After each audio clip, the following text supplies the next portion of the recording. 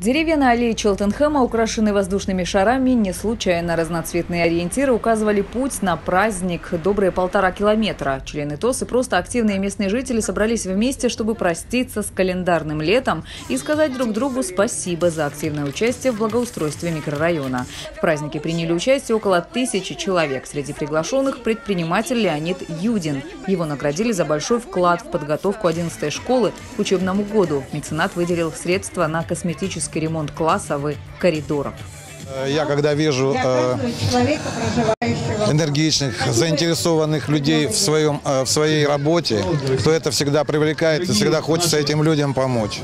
Из 75 сочинских ТОСов Мацестинский один из старейших на курорте. Ему уже 15 лет. За эти годы вместе с властями удалось решить многие застарелые проблемы микрорайона. Плюс ко всему недавно здесь появился красивый парк.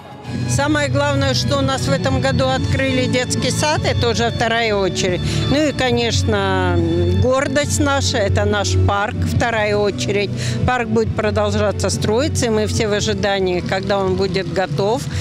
И мы готовы помогать. Осталось 700 метров набережной нам благоустроить. Это твердые покрытия, освещение, лавочки, урны и зеленые зоны. И тогда уже весь проект э, подойдет своему логическому завершению. От ванного здания, где мы сейчас находимся, можно будет гулять до моря и переходить на наш приморский Теренкур и до самого югспорта.